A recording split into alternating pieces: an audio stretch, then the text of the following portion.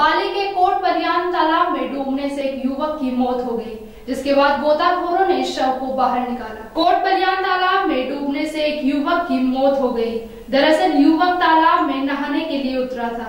इसी दौरान युवक दलदल में फंस गया और उसकी मौत हो गई। तालाब के पास कपड़े मिलने से लोगों ने पुलिस को सूचना दी, जिसके बाद मौके पर पहुँची पुलिस ने गोताखोरों की मदद से शव को कब्जे में लिया।